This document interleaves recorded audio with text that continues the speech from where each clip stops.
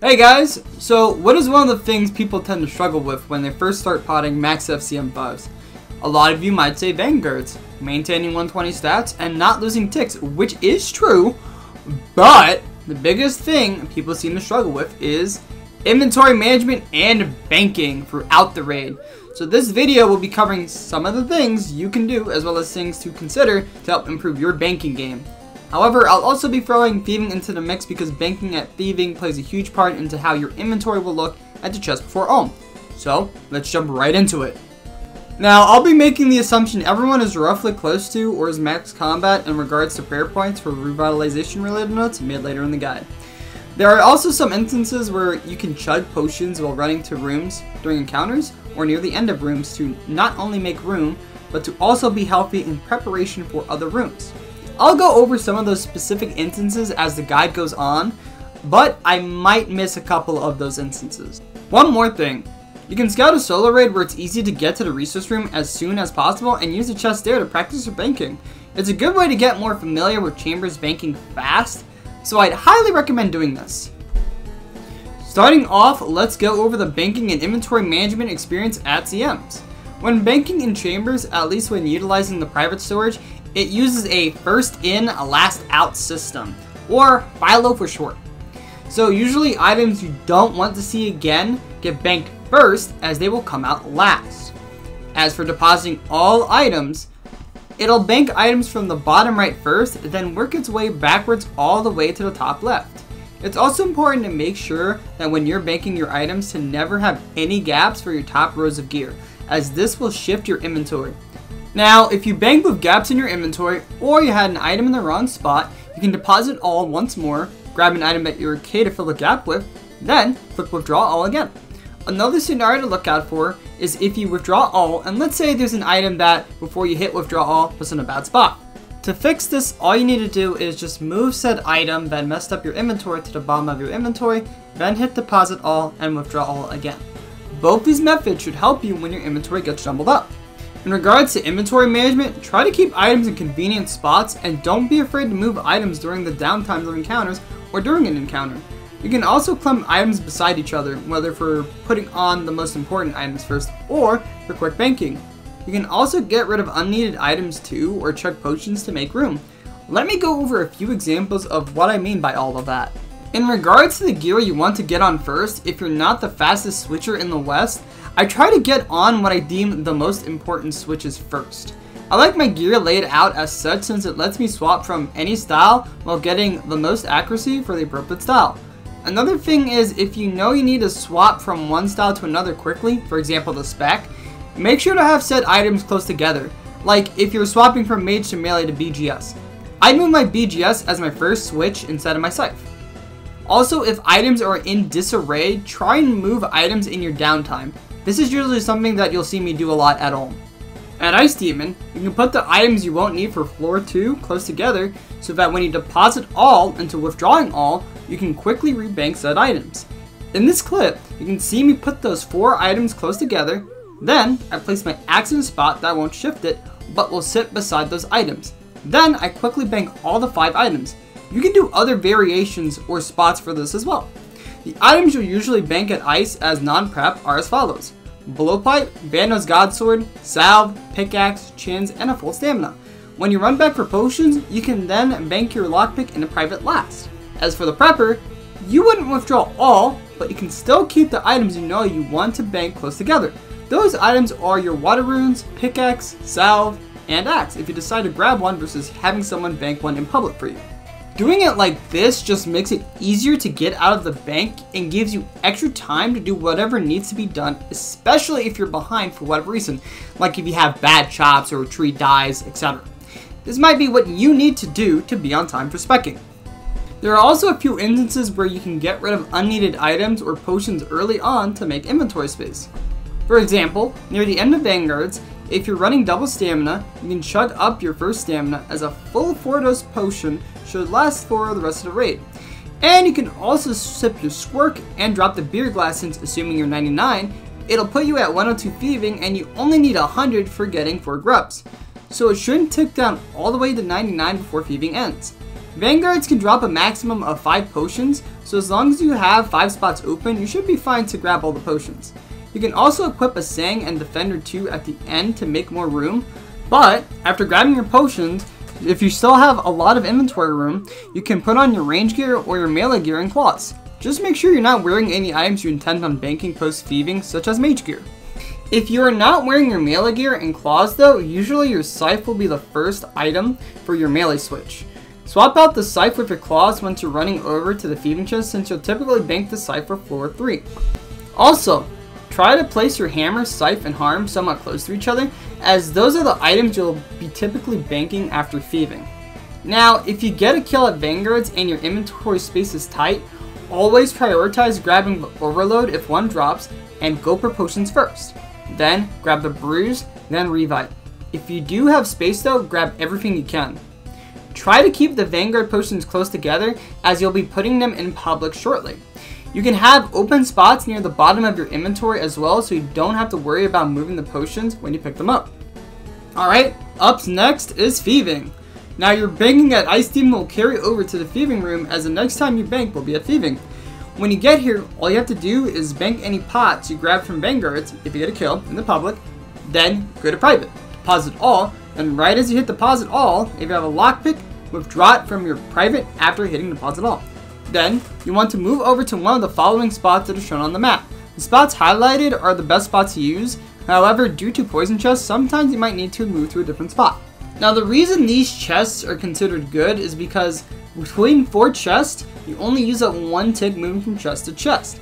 And usually with 4 chests, you shouldn't run into the issue of having to wait for chests to respawn for grubs. This spot in the middle is a bit weird though, in the sense that you have to follow a specific rotation in order to not lose ticks. Open chests like this in said order to not lose ticks, or open it in a reverse order. Either or works. There's some other things you can do as well that are more min-maxing, which is rotating players from spot to spot when you have people dumping from afar. That way, they can start feeding quicker than having to run back to the spot and potentially screwing with other players. For example, let's say player in spot 2 dumps.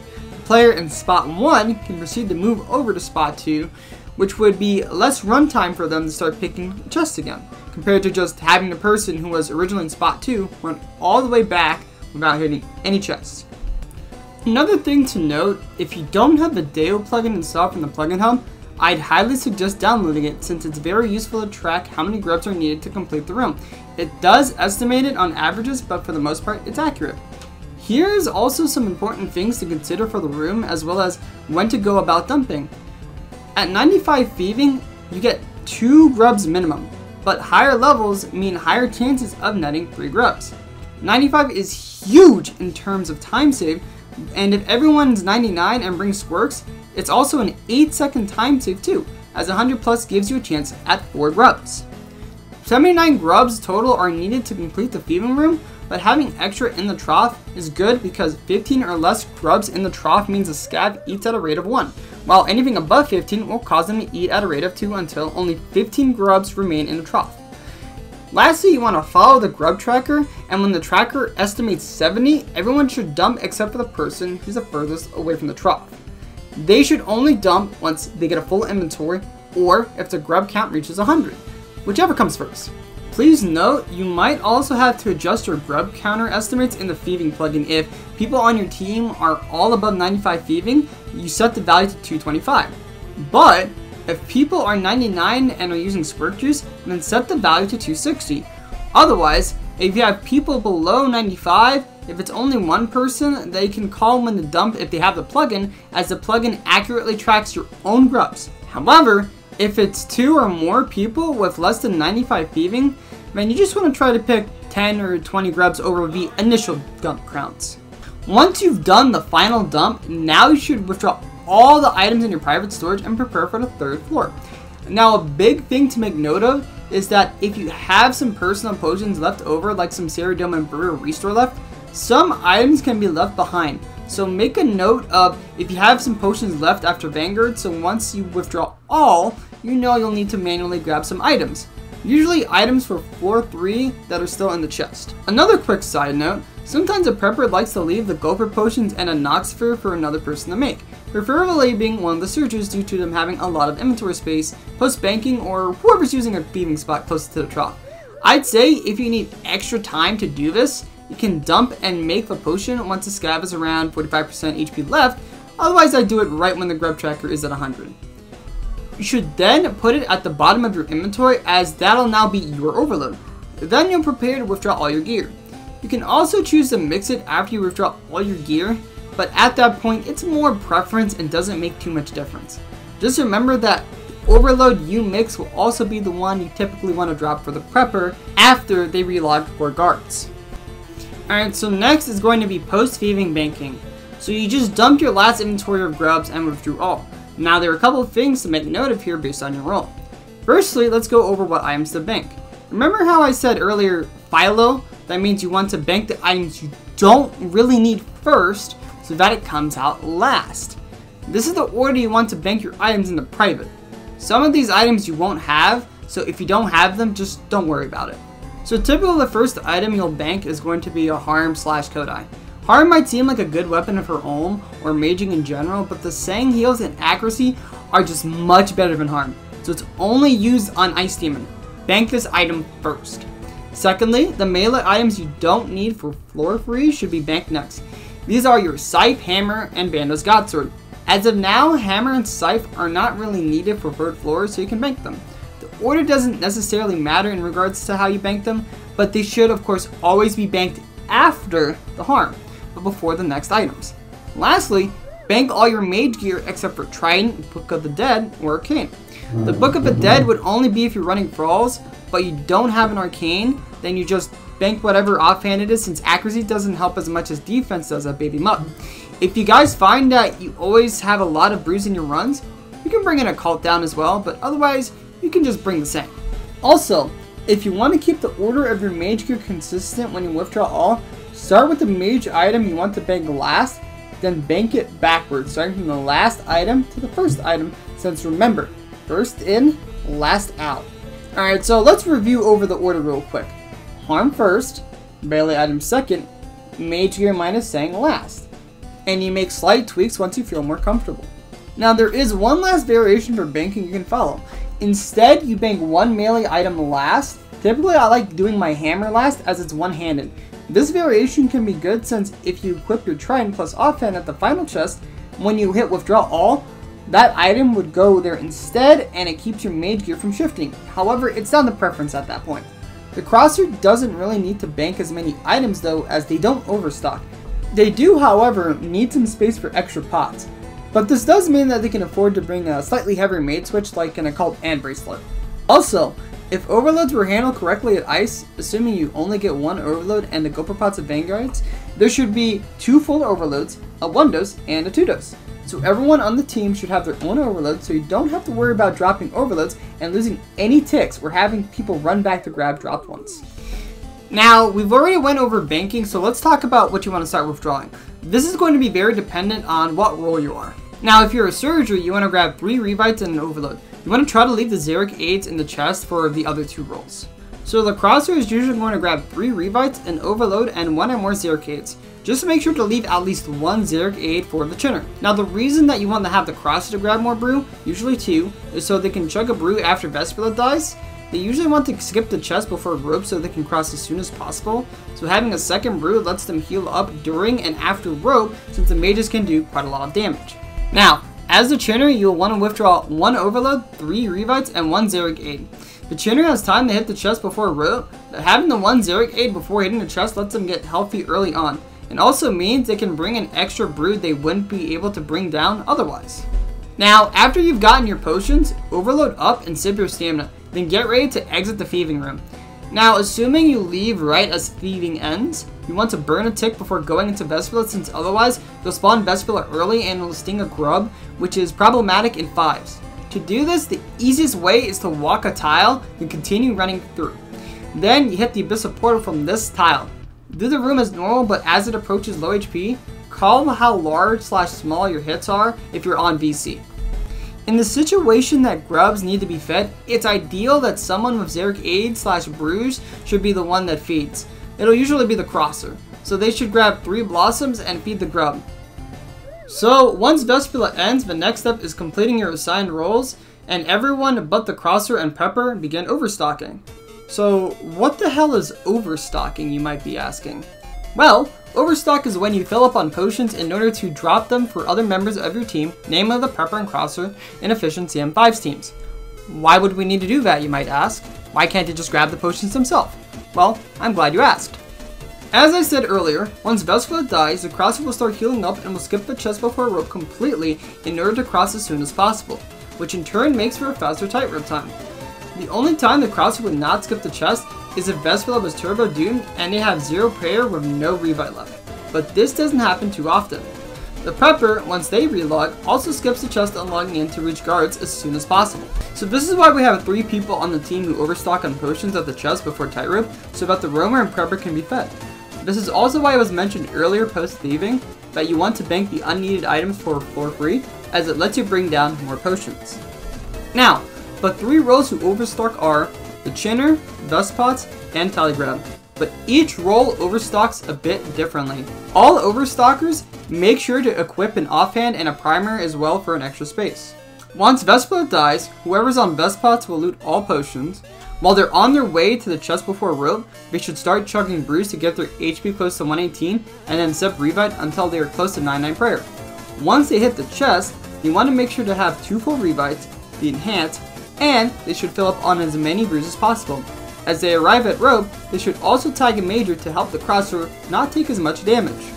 The telegrabber on the other hand will run to the chest and will begin sipping revive to get their prayer as close to 99 as possible.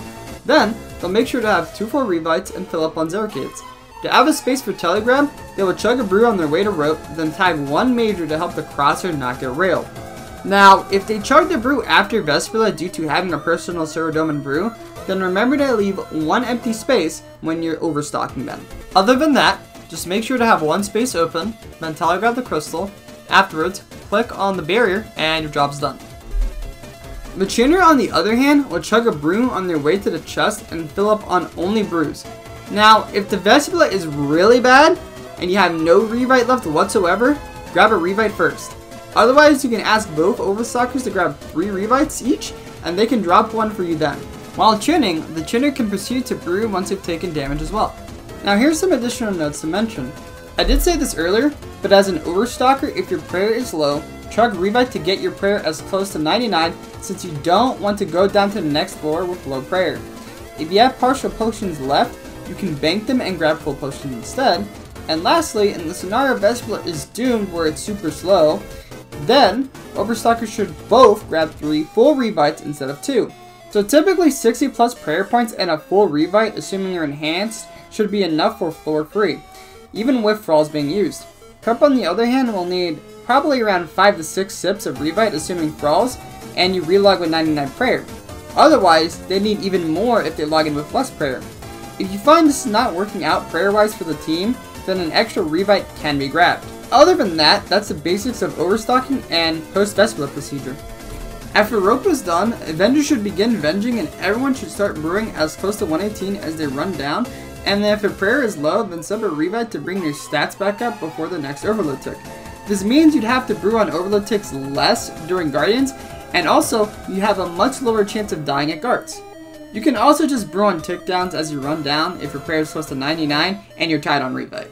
Secondly, the prep relogs and whoever made the overload earlier and or has a full one should drop an overload for them and then the prepper will grab it on their way over. The prepper will also redrop the overload for the person who dropped it for them. So the only time you should ever waste ticks to pick up a potion instead of hitting the guardian is if you're the prepper to pick up the overload.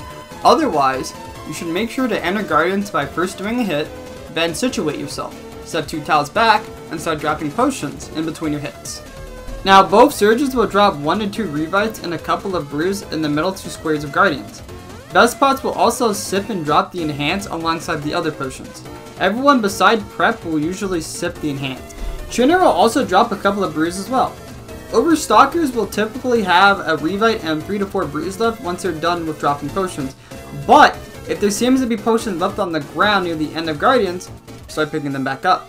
Another note to make is that you'll proceed to drop brews throughout floor 3, usually at Mystics and Muttadile for other members of a team, as space constraints based on their role might make it hard to grab all of the potions drop. With that former note being said, sometimes your prepper won't be able to take too many potions at Guardians and will always need some pots dropped from time to time.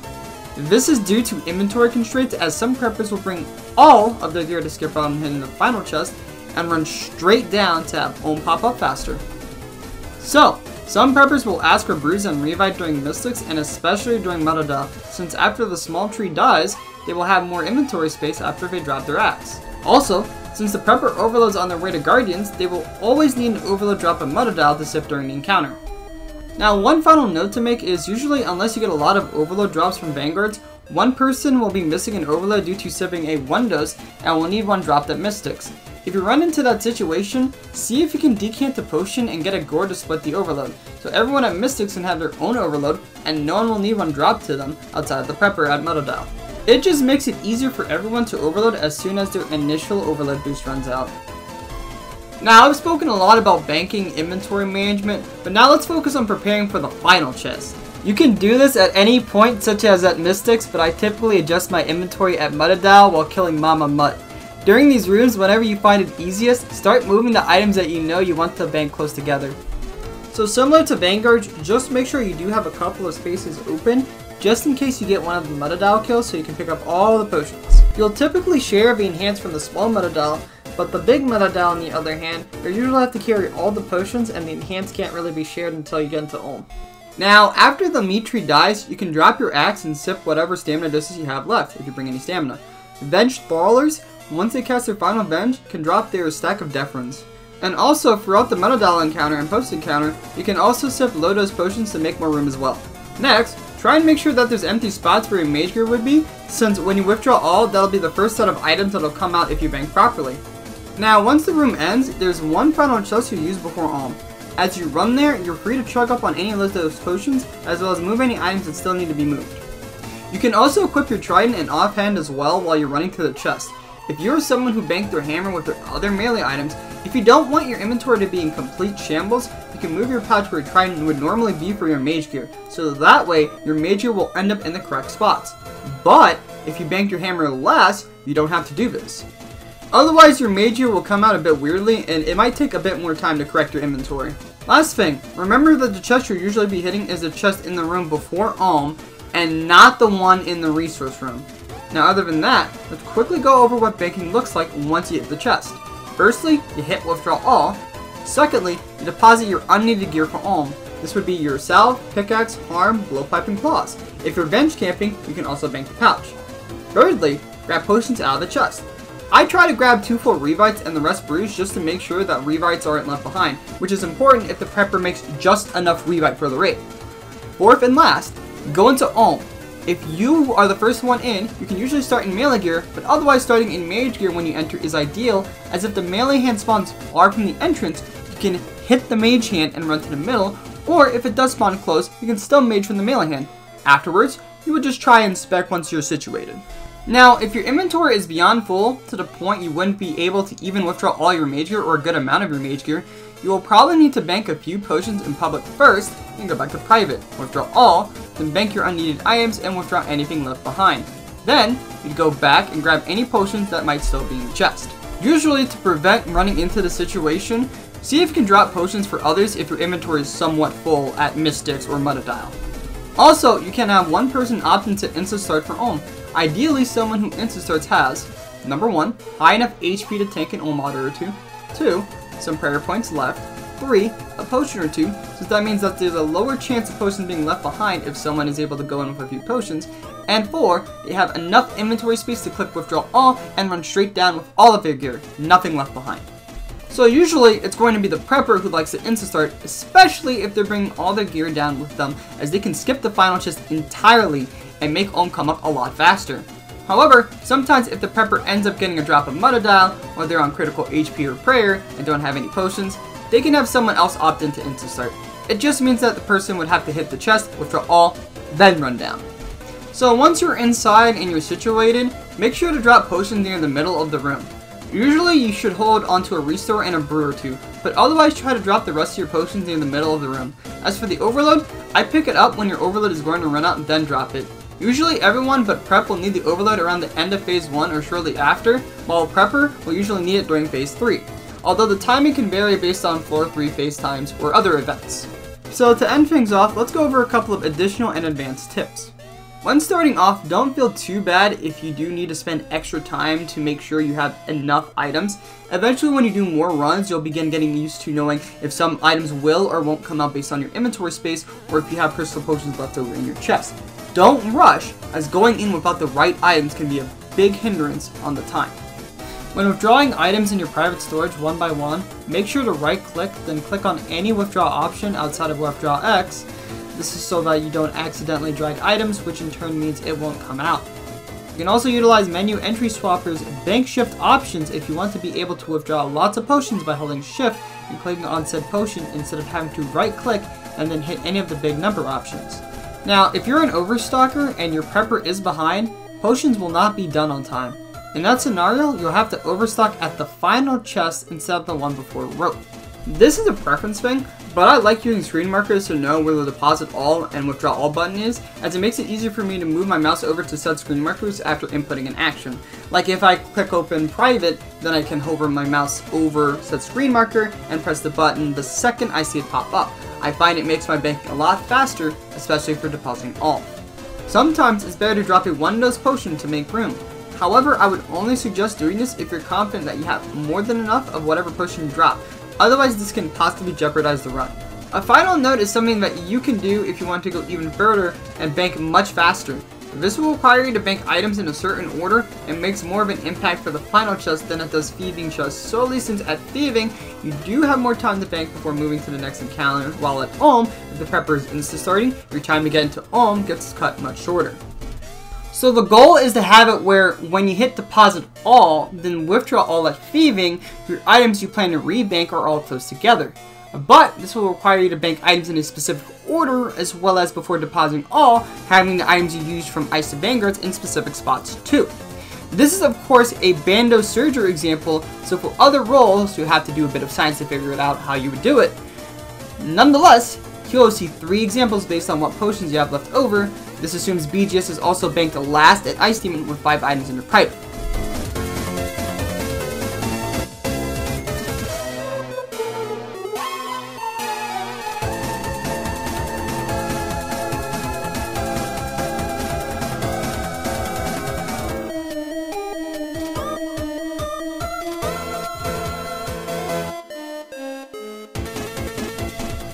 Now, I think it's not necessary to do this for thieving, but I just wanted to show you in case you guys want to try it out. However, this next example will be for final chest banking. This one I'd suggest learning for sure. For one, always make sure you have room for your mage gear up top, then see how many spaces you have left. I always tend to bank my harm staff first, and knowing I have 4 items in my bank, withdrawing all now means the harm would come out last as my 4th item. Using this knowledge, you can move items around in your inventory so that when you hit withdraw all, it ends up right by the items you need to bank for all. Look at this example here. I leave a gap in this spot, so the harm goes there, then I quickly bank all the items I don't need for Olm. Doing it like this just means you can get out of private faster, and you have better odds of getting into Olm on time. It might take a little bit of practice, but I do think it's worth learning. Anyway, that's it for the guide. There's a whole lot of information, so hopefully with the timestamps here, you'll be able to look through whichever section you might want to focus on and rewatch it a few times. But let me know if you have any questions or suggestions as well. Thank you guys for watching. Until next time, farewell.